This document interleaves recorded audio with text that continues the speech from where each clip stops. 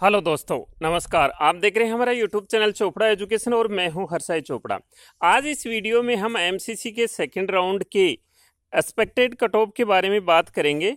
क्या रह सकती है category wise all India quota की कट ऑफ़ और क्या रह सकती है डीम्ड की कट ऑफ़? तो दोस्तों, वीडियो शुरू करने से पहले आपसे रिक्वेस्ट करना चाहूँगा कि आप हमारे चैनल पर नए हैं तो चैनल को सब्सक्राइब करें, बेल आइकॉन प्रेस करें, वीडियो को लाइक व ज़्यादा से ज़्यादा शेयर करें। तो दोस्तों, मैं जो ये कट ऑफ़ बताने वाला हूँ, हो सकता है ये आपकी आशा के अनुरूप ना हो, लेकिन ये कट ऑफ़ जो निकाली गई है, ये प्रीवियस ईयर के डाटा को देखते हुए व प्रजेंट सीनियर जो चल रहा है, उसके मुताबिक ये कट ऑफ़ मैंने निकाली है। तो हम ऑल इंडिया की सेकेंड राउंड की बात करें कट ऑफ़ की तो U R O B C की five eighty plus cut off रह सकती है दोस्तों।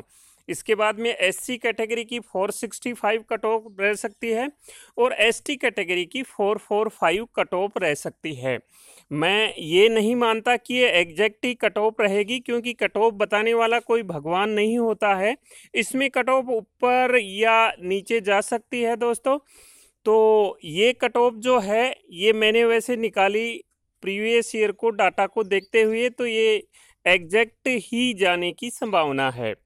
इसके बाद में बात करें हम डिम्ड यूनिवर्सिटी की तो डिम्ड यूनिवर्सिटी में तीन ऐसी यूनिवर्सिटियाँ जो के एम सी मणिपाल के मैंगलोर कैंपस और मणिपाल कैंपला कैंपस इसके बाद में हमदर्द और लोनी ये तीनों ही सेकंड राउंड में इनकी कट ऑफ़ ज़्यादा बढ़ने की संभावना है। कम से कम पाँच या सात नंबर तक ये कट ऑफ़ ज़्यादा जा सकती है। इसके बाद में बाकी डीम्ड यूनिवर्सिटी की कट ऑफ़ पाँच या सात या दस नंबर तक डाउन रहने की संभावना है। तो दोस्तों, ये है संभावनाएँ कट ऑफ़ की। इसके बाद में बात करें हम शेड्यूल की। तो एमसीसी का जो शेड्यूल है, वो सेकेंड राउंड का रजिस्ट्रेशन नौ जुलाई से ग्यारह जुलाई पाँच बजे तक है। आप रजिस्ट्रेशन कर सकते हैं नौ जुलाई से ग्यारह जुलाई। इसमें जिन्होंने पहले रजिस्ट्रेशन कर रखा है, जिनको सीट नहीं मिली है, या सीट मिली है, उसको छोड़ दी है तो उनको दोबारा रजिस्ट्रेशन करने की आवश्यकता नहीं है। इसके बाद में इसमें फ्रेश कैंडिडेट भी रजिस्ट्रेशन कर सकते हैं। जो ऑलरेडी रजिस्टर्ड कैंडिडेट हैं, उनको चॉइस फिल दोबारा करनी है। इसके बाद में जो न्यू रजिस्टर्ड कैंडिडेट हैं, उनको तो दोबारा चॉइस फिल करनी ही है। इसके बाद में जो इसका लॉकिंग और चॉइस लॉकिंग सिस्टम है।